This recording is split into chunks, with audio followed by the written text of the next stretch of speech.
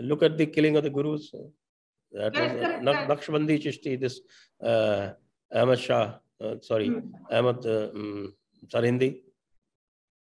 He was the one who inspired the uh, killings of uh, the gurus of uh, the Sikh gurus. Sikh gurus. So uh, all this is a complete hoax. Then uh, look at the evidence afterwards. Who was what was who was Aurangzeb? Mm, He also, I think, followed a Sufi. Yes, so he, he, he followed the Naqshbandi tariqa. Mm. He Correct. was uh, he was uh, his his his peer peer murid. You know you have this uh, uh, the guru disciple uh, kind of a relationship, peer and murid.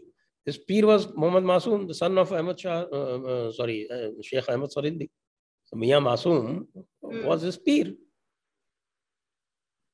Aurangzeb's peer. Aurangzeb's peer. So he was actually uh, initiated into the Naqshbandi Sufi Silsila. Mm.